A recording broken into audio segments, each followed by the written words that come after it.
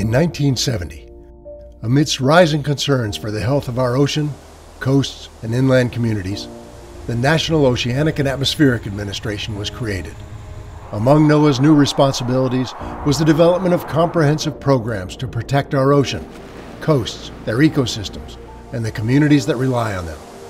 Essential stewardship initiatives arose from these programs, including protection of our nation's fisheries and marine mammal populations, restoring ecosystems impacted by oil and chemical spills, and a world class weather service protecting life and property. Over the last 50 years, NOAA's stewardship efforts have greatly expanded. NOAA scientists monitor and document the many ways our world is changing around us.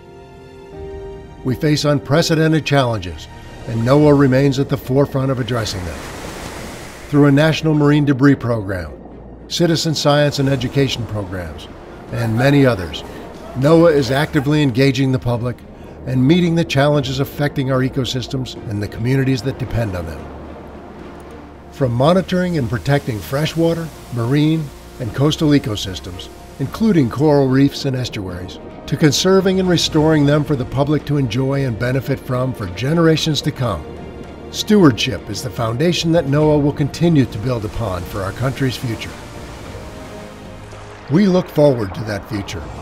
To meet the challenges of the next 50 years, NOAA must ensure that our communities and ecosystems remain resilient. We're embracing new technologies and leveraging our nation's greatest asset, our youth. We must prepare and inspire our leaders of tomorrow and support the educators and community leaders who teach and nurture imagination. Those of the next generation are the leaders of stewardship for the future. The success of NOAA's stewardship initiatives demands that we embrace our country's diversity. We must reflect, understand, and respond to the broad range of communities, partners, and stakeholders we serve.